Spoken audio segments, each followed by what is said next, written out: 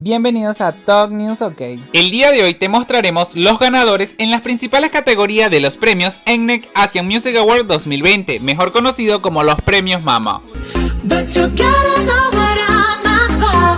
Los ganadores en la categoría Icono Mundial del Año es el grupo BTS, en la categoría Artista del Año, nuevamente los ganadores son el grupo BTS. En la categoría Canción del Año, sin ninguna sorpresa, los ganadores son BTS con la canción Dynamite. Una de las categorías más importantes sin duda alguna es Álbum del Año. Así que mil felicitaciones para BTS y su álbum Mark of the Soul 7.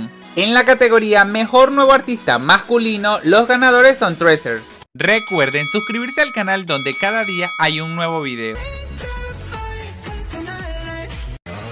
En la categoría Mejor Nuevo Artista Femenino, los grandes ganadores de la noche han sido las chicas de Weekly. Otra categoría importante es Mejor Grupo Femenino, en donde Blackpink se alzó con el premio. En la categoría Mejor Grupo Masculino, los ganadores son el grupo BTS, que sin duda han tenido el mejor año en su carrera. En la categoría Mejor Nuevo Artista Masculino, el ganador de este año es Baekhyun. La ganadora de este año en la categoría Mejor Nueva Artista Femenina es IU. En la categoría Mejor Actuación de Baile Masculino nuevamente ganaron BTS por su canción Dynamite. En la categoría Mejor Actuación de Baile Femenino, las chicas de Blackpink se llevaron el ganador por How You Look That. En la categoría Actuación Global Favorito, los ganadores son los chicos de Seventeen. Mientras que en la categoría Mejor Grupo de Interpretación Vocal, los ganadores son Mamamoo. Una de las categorías más importantes es sin duda alguna el mejor video musical del año y los ganadores son BTS con Dynamite. Para finalizar nuestra lista de ganadores en los premios Mama 2020,